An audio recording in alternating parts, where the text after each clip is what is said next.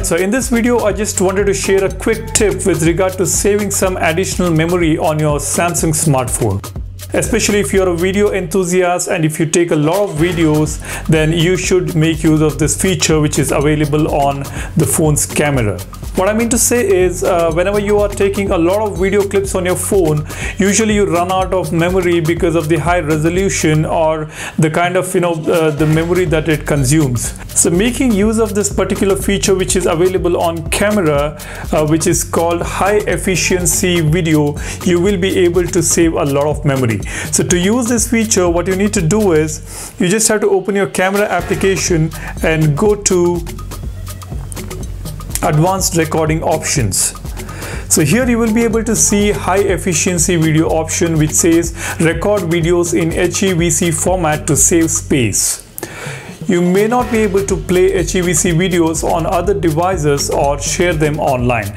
So if you enable this, you will be able to create some videos which takes a very limited space.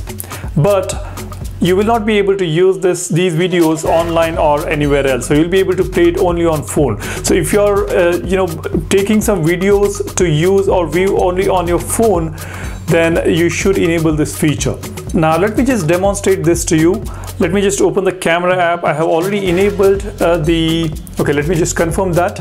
I have already enabled the high efficiency video here. So let's open the camera and take a video clip right? I'll just take a small video clip here.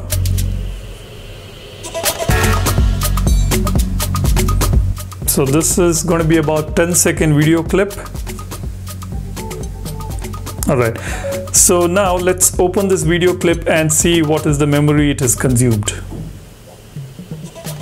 So this has taken about 10.16 MB. So this is the memory, now the space that it has taken to create this video clip on your phone.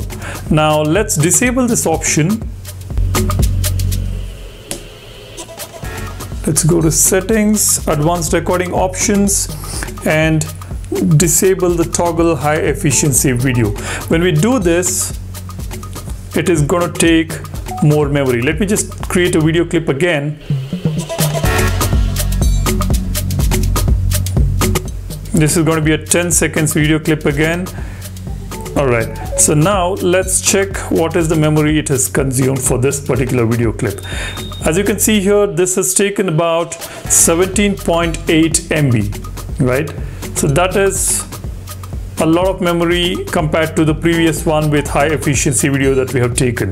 So it saved almost about 50% of the memory. So this feature you should definitely consider using. If you take a lot of videos on your phone it is definitely going to save almost about 50% of the memory.